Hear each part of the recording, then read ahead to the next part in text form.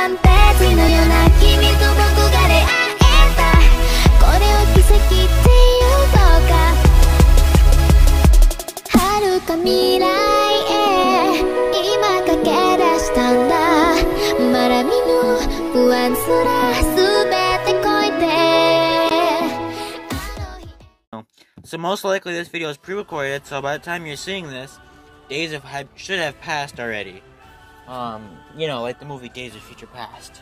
I don't know why I made that reference or why I even said that, but anyways, that's not the point of this video. The point of this video is go down below, hit the subscribe button, turn on post notifications, and um, hit the subscribe button.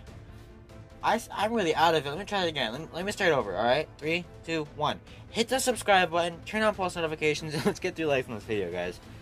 But on a serious note, this video is going to be me maxing out all my Japanese units, or at least as many as I can possibly max out in this time lapse. So if you want to click off now, that that's just fine, because it'll just be music dubbed in the background. That's fine.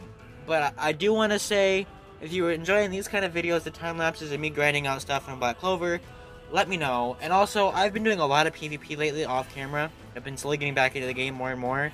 So if you guys want to see more PvP, let me know. Obviously, summons will always happen because I just grinded out like 2,000 um, black jewels for this game. So obviously, summons will always happen. But without further ado, let's get into the time lapse here.